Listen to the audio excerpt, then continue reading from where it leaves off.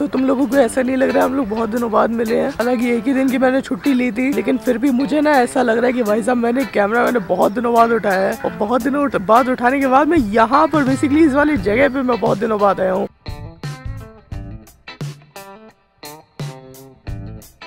और भाई साहब, मानो या ना मानो, यहाँ का जो मौसम है ना यार, इतना खूबसूरत मौसम है, इतना सुंदर मौसम है। यहाँ पर हो रहा है, वैसे इस समय ना सात के ऊपर हो रहा है, लेकिन अभी का जो मौसम है ना भाई साहब तो मस्त वाला, एकदम मौसम है यार, और नहीं इस पार्क में कोई है।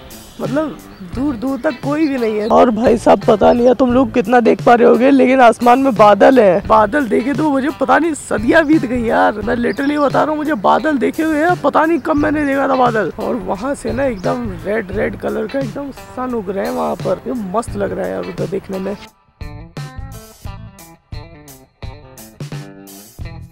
यार मुझे ना ऐसा देख के लगा कि हाँ भाई साहब, वहाँ से सूरज निकलेंगे। लेकिन अब क्या हुआ कि बादल ने पूरा छेक लिया सूरज को। सूरज को भी ठंडी लग रही है, वो भी बादल का चादर ओढ़ के सो गए। अभी क्या है ना, मैं जब यहाँ पर जब आ रहा था ना, भाई साहब, इतने तेज ठंडी की वजह से ना वहाँ पर बीच में एचल का जंगल भी पड़ता है। वहाँ पर हाथ में भाई साहब ठंडी के, मैं लिटरली बता रहा मैं फट गई थी, मैं ऐसे करके मैं चल रहा था। तक नहीं है।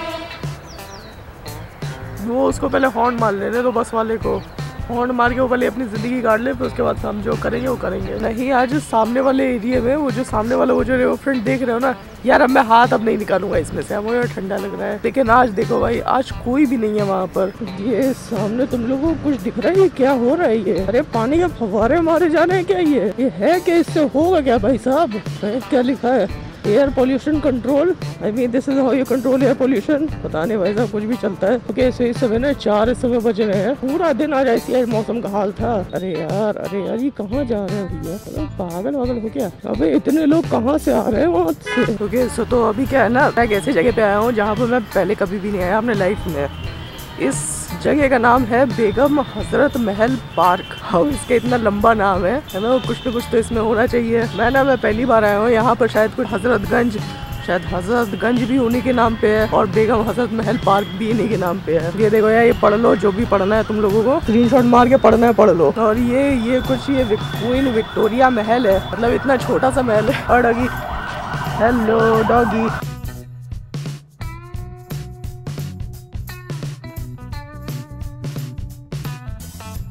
अगर ये अगर महल है, मैं नहीं चाहता मैं किसी के बिना जाने में मज़ाक उड़ा दूँ। ठीक है, जो भी है, जैसा भी है। देखने में तो अच्छा लग रहा है, बस ताला खोल देते तो और अच्छा लगता है। मेरा क्या है ना सर, मैं यहाँ पर मैं आ तो गया हूँ, लेकिन अब यहाँ पर आने के बाद ना मुझे अब सूसू लग रही है।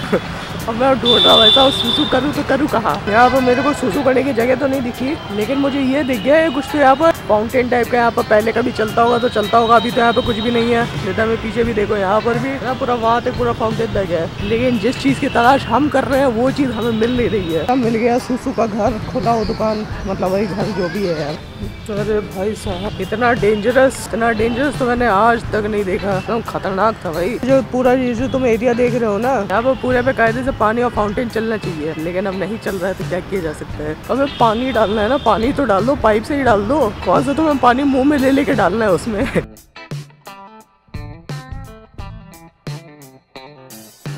ओके सो तो मैं समय ना मैं इस जगह के बेसिकली मैं बारे में पढ़ रहा था। हम लोगों का ये जो पूरा एरिया है लखनऊ में मतलब ये जो पूरा लखनऊ है, इसको पहले अवध के नाम से इसको जाना जाता था। तो यहाँ के जो नवाब थे मतलब वाजिद अली शाह, बेगम हज़रत महल उनकी वाइफ थी, उनकी स्पाउस थी। जैसे हजरतगंज सुनते हो, नाम जैसे या ये वाली जगह सुनते हो, बेगम हज़रत महल पार्क सुनते हो, है ना? ये सारे जो हज़रत मतलब जो है ना, ये उनका नाम था बेसिकली बेगम हज़रत महल। तो उन्हीं के मेमोरी में ये पार्क बनाया गया है। ये जो पीछे तुम लोग जो देख रहे हो ना, ये पहले क्वीन विक्टोरिया के मेमोरी में पहले बनाई गई थी। सो so, 1905 में ये जो जगह वो बनाई गई थी। लेकिन बाद में इस जगह को यहाँ पे कुछ स्टैचू कुछ लगा हुआ है कुछ चेंज करके फिर इसका नाम बेगम हज़रत महल कर दिया गया और स्टैचू को भी चेंज कर दिया गया। वो भी वन ऑफ़ द लीडर्स थी जिन्होंने इंडिपेंडेंस मूवमेंट को मतलब पुश किया था। तुम लोग ये समझ रहे हो ना कि मेरी हिस्ट्री बहुत अच्छी है। ऐसा कुछ भी नहीं ये सब चीज़ें मैं यहाँ पे पढ़ के और थोड़ा सा नेट पे पढ़ के मैं तुम लोग को बता रहा हूँ। मतलब यार देखो होता है ना कि जिस चीज़ के बारे में पता हो ना उस चीज़ के बारे में बात नहीं करनी चाहिए। अभी मैंने पता कर लिया अभी मैं अभी बात कर सकता हूँ, इससे इसीलिए मैं, इससे पहले मैं कुछ बोल नहीं रहा था। और फिर फालतू में फिर लोग आ जाएँगे डिसलाइक मारने आ जाएँगे, भाई साहब तुम गलत बता रहे हो, तुम ये, तुमने ये, हमारे सेंटिमेंट को हर्ट कर दिया, तुमने ये कर दिया, तुमने वो कर दिया। सो अभी मैं अभी क्या करता हूँ, मैं यहाँ पर थोड़ी देर बैठता हूँ, फिर उसके बाद हम लोग निकलते हैं उसी अपने रेगुलर स्पॉट पर जहाँ पर हम लोग रेगुलर जाते हैं।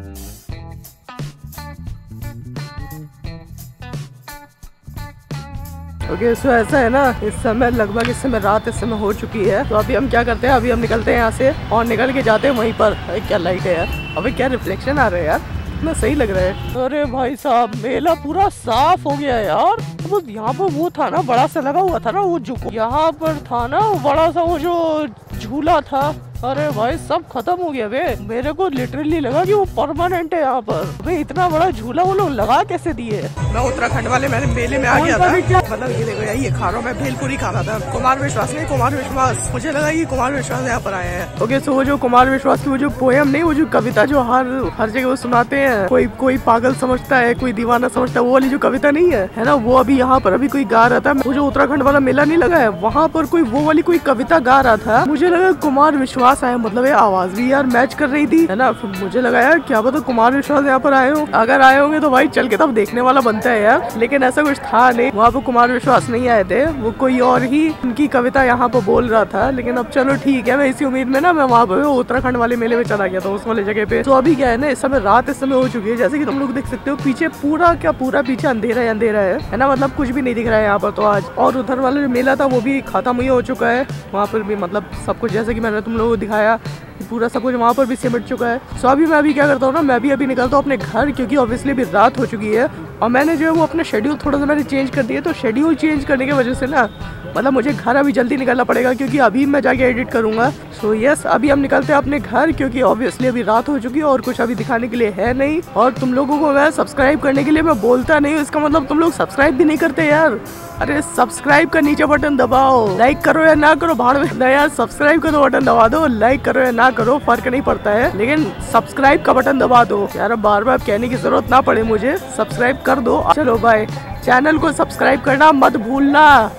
अब लग रहा है बोलना पड़ेगा हर वीडियो के एंड में।